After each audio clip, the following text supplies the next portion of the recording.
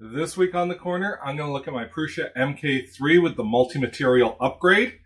And I'm going to see if I can solve what most people have is the thick and stringy tips. Stay tuned. Hey everyone, welcome back. It's me, Jeff. This is my corner. I am working on my Prusa MK3S. I don't even have a video out on this printer because these things are workhorses, to be honest with you. Um, I very rarely tinker with it. I just basically do basic maintenance to it because out of the box, put, built and assembled properly, these things last and last and last. I've had this printer for, I think, three years. Um, and honestly, it, um, aside from, you know, the thermostat, maybe uh, a fan replacement, and that's really about it. That's probably all I've had to do with this over the course of the years I've had it. But now, um, what I'm going to do is trying to fix my MMU um, too. I've had um, issues with it. Like it prints fantastic. It really does. Once it's dialed in and stuff, it actually does uh, amazing work here. So look at this car here. So this is a print by the MMU and you know, it does what it's supposed to do. It swaps filaments, it changes. This is one of my favorite prints actually. I'll show you this from the MMU. It's a teeny tiny little Emil, but that goes to show you um, how detailed this can be up to what else we got over here? Let's see here. We got the baby yoda. Oh uh, can you see here. Let's see if i can find remy here. Uh, even up to like this size which is just awesome right? So when the mmu is working it works great. But the problem with the mmu sometimes is um, you end up getting bulbous tips, some stringing and stuff like that. Now the stringing you can usually take care of in the settings, but those tips, those thick tips are a problem that a lot of people have. Now, over here, I've already started, I disassembled the hot end component of the MK3S. Um, and this is the heat break. Now, standard heat breaks, now I might have this wrong and I'll have to check the numbers and stuff, but I believe the E3D heat breaks, the channel through them is like a 2.2 millimeter going through. Now for some information. Uh, the standard E3D V6 uh, heat break is um, 2 millimeter internal diameter full length. The Prusa has a step down from 2.2 to 2 millimeters at the bottom of the melt transition zone. As your filament, as you're printing and your filament goes in to the hot end, it oozes out, and then what it has to do is it has to change filaments so it comes out. So what it does with the settings is it will actually retract a little, ram a little, retract a little, ram a little, retract a little, ram a little, so that it forms a tip in the, uh, the cooling zone of the heat break, okay? And then it will retract all the way through your PTFE tube, and it will go up to the top. It will then change filaments, and it will push the filaments all the way down back into your hot end. Now, as I say, some people myself included, have had a challenge where you got this big bulbous end on here, so it will get jammed or it won't trigger properly. Tips, what I've done is I've actually purchased these bi-metal heat breaks. Um, now, as I say, I saw somebody in the forum playing around with this. I don't know if those have, um, if he's gotten those yet or if he just ordered them I got a quick deal on them, so I will um, attempt to put these bad boys in, or a bad boy in. Um, love these little packages. There's like seven of them, right? it's always like, we're gonna, you know, wrap this and wrap this and wrap this. Oh, yeah. So, I do have to um, say though is so I've got this package basically with the two things. Came in a box this big with a whole bunch of paper in it. So yeah, so but so the key point here is that I will take a photo of this, but you will notice that the inner diameter is a little bit smaller. It's a 1.9 instead of a, a 2 or even a 2.2 for the regular ones. So we're going to give this a shot and see what our tips look like. So I guess I'll show you how my Prusa MK3S is set up for the multi-material upgrade. I have some heat sinks around my extruder motor.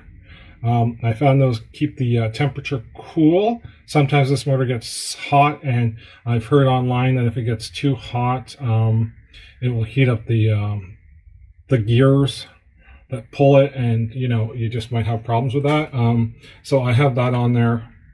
I don't know if it's counterproductive or not, but it, keeps the extruder motor cool, so it's kind of a win-win. Um, when I did rebuild the hot end and put the new heat break in, I actually left the PTFE tube in there because it was a bit worn and I thought that would be a good test instead of replacing with a brand new one and having skewed results. Um, up here, I did replace the selector with a larger bore selector.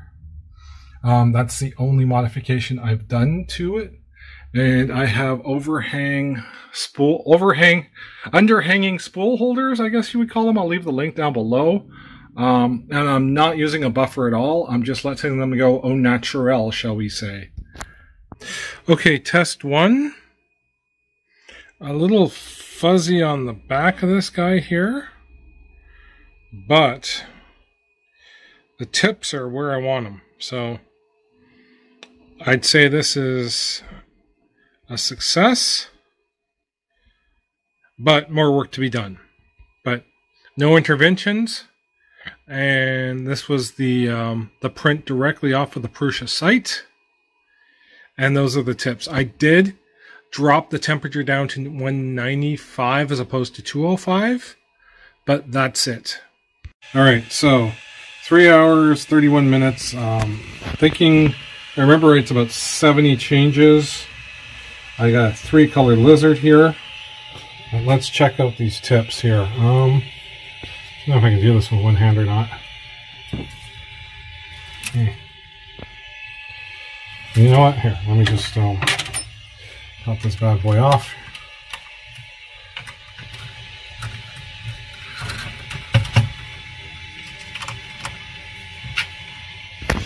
All right, let's have a look here. Uh, tip number one.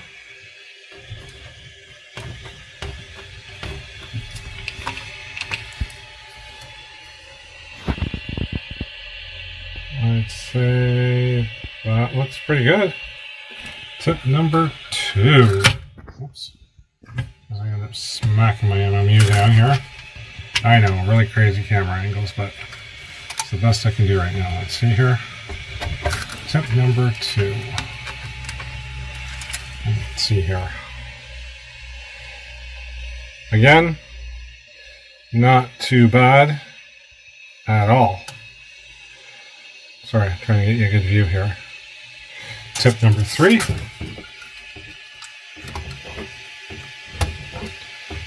Come on, come on, come on, come on, come on. There we go.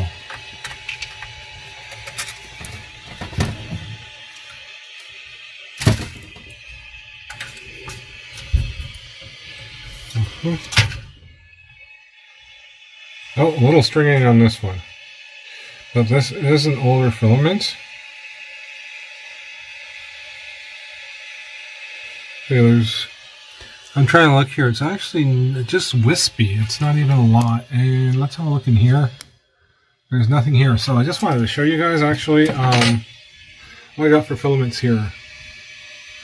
I've got uh, Tenice Purple, Soltech 3D Solutions Black, Amazed, um, the chocolate brown.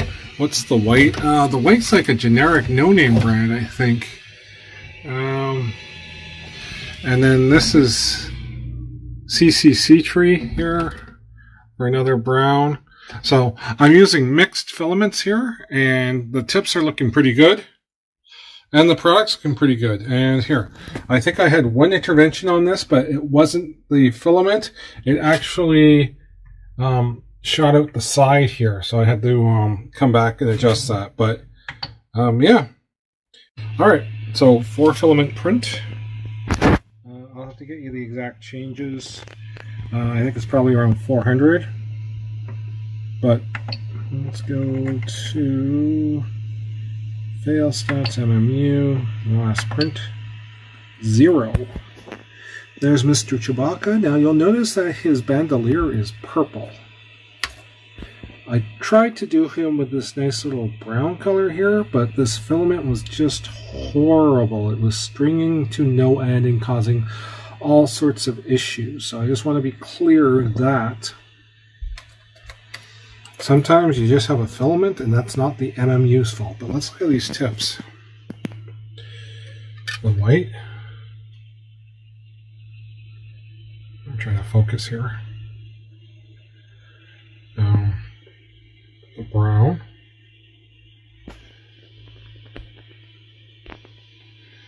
The black. And the purple. Those tips are awesome. They really are. So yeah, so this all metal heat or this um, bimetal heat break is, seems to do a really good job here. All right. Oh, I also use the um, the sparse layering too with this, so you'll see my purge block is about half the height of Mr. Chewbacca here. So yeah, um, it looks like there was a layer skip in here, but this is pointed, printed at 0.3 millimeters. Um, about 500 tool changes. I think it was 30% of the original model. Um, and my tips.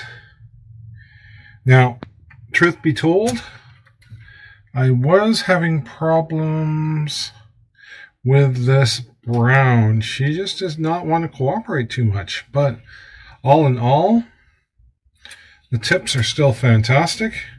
I had a couple interventions only on the brown. Hey everyone, so we're done with the testing now. And again, this was a really, really quick test and a really quick sample size. I did four models. I did them smaller scale. I just wanted to get some tool changes in and get a feel for it. Um, so let's just recap here real quick. I have, um, uh, let's see here, from smallest to highest, I think the lizard was um, 78 changes. The sheep was 95. Uh, Chewbacca was 214. And the cube was 421. Now, out of all of this, I had one incident, I think it was the sheep, that the filament came through the selector of the MMU, didn't make it through and came up sideways. So I had a problem with that. Okay, so Chewbacca didn't go clean as I showed you. I had a different colored filament in there. I hadn't dried it. I hadn't calibrated it. So I was having problems with that until I actually switched out that filament.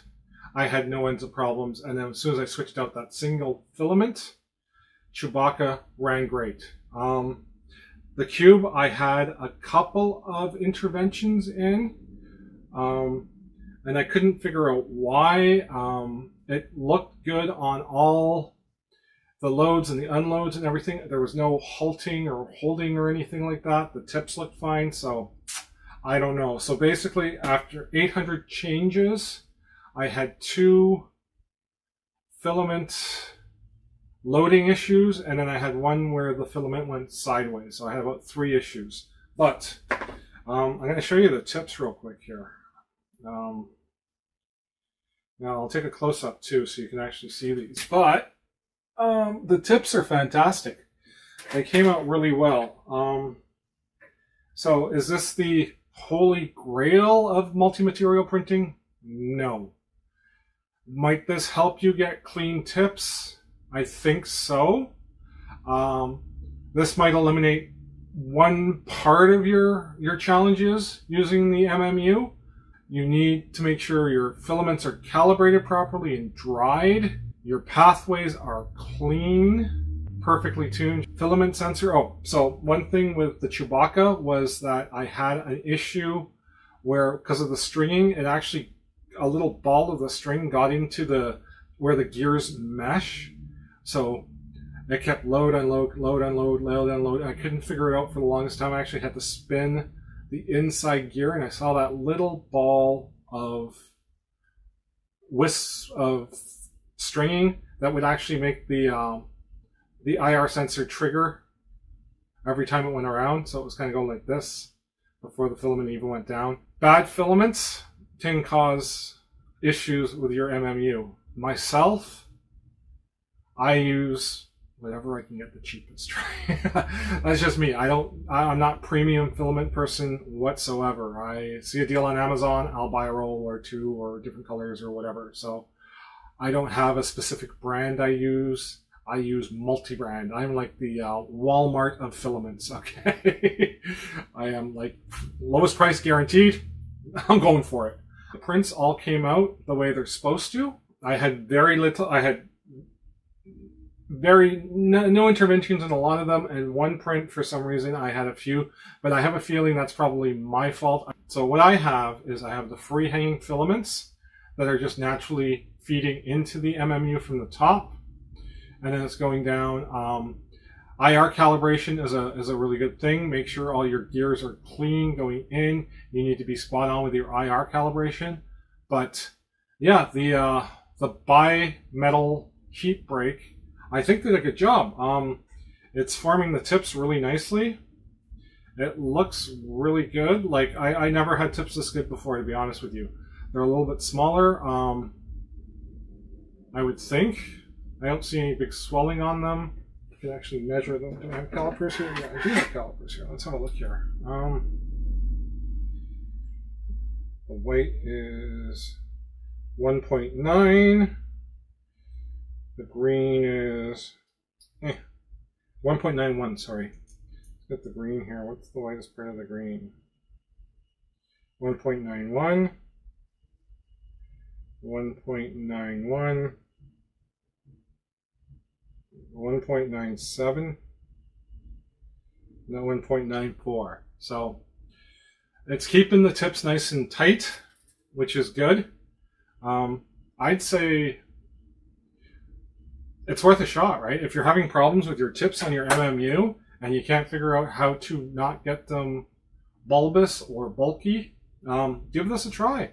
Um, if you like this video, thank you so much. If you're cruising through the channel, hit subscribe. Um, it's you guys that make me want to do these videos, basically. So thank you so much. Um, leave me a comment and peace out.